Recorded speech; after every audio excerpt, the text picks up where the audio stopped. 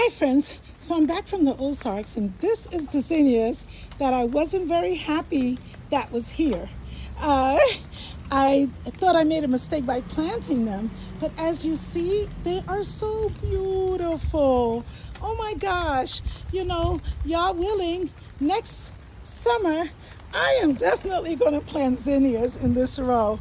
I'm sorry, daylilies. I love you too, but zinnias are giving. Look at the colors. Oh my gosh. They are giving.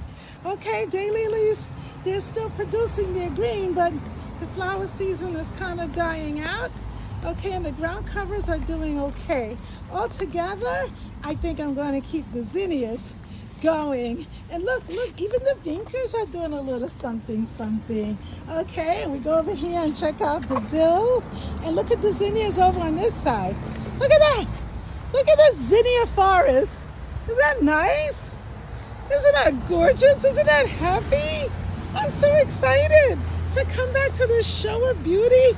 My sister have been doing her thing. I think she's going to be called Plant Lady too. She has got a green thumb because everything look better than what I left it. Actually, much better than what I left it. Thank you, sis. You're amazing. Mwah! Love you. Gotta get busy. Gotta pluck some out to make a bouquet. Bye.